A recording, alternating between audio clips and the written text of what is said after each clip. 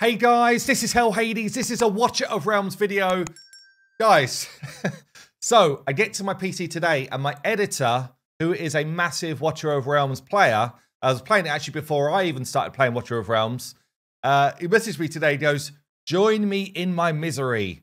So he's picked up these two spring treasure bundles and has rolled the dice on some uh, meteorites here, which can get exclusive artifacts. He's like, HH, I've done it. You've got to do it too. He showed me his screenshot. He did not pick up exclusive artifacts. But um, one thing he did call out on this pack, by the way, I'm a content creator.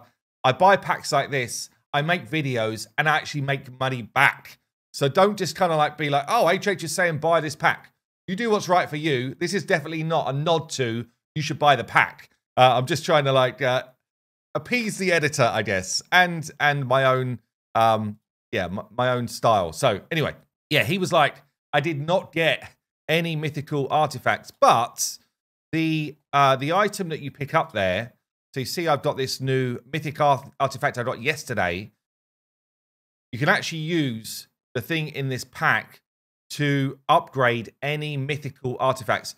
I would suggest if you were to buy a pack like this, or you get this item some other way, not sure how else you can do it honestly right now, but if you get this item another way, I would only use it on exclusives because you can farm any of the other mythic level artifacts, but the exclusives are very difficult to get. So, um, I mean, I might even push Ajax's one here a couple of times. Depends what we get in a minute, but I might push it up a couple of times and go for big boy build on Ajax and see just how powerful this is because it feels like it's kind of nutty. And I've been told by a couple of people you're sleeping on how powerful Ajax can actually be. So, so that's what we might do. But anyway, let's let's see if my editor has just done me done me a good one or done me an absolute wrong one. Do we get any exclusives out of the 10 pool for mine? That's what we're after. Do we get any exclusives? Is it obvious if they're exclusive or not? Uh, is that exclusive? No, I don't know if it is. I don't know.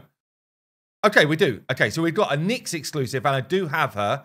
Increases AoE damage by 15% and gains 15% penetration during Oh, That's actually kind of massive. Uh, Iosyn's normal. Frigid Flame, normal. Scarlet Hunt, uh, normal one. I've got that one already.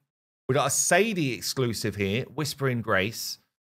When the ult is activated and when it ends, triggers one healing at a rate of 150% healing multiplier.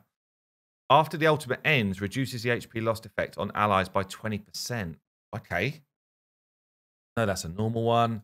One golden scarab. It's actually kind of cool. Anyway, uh, we've got a Zilla 2 exclusive. I do own this one actually.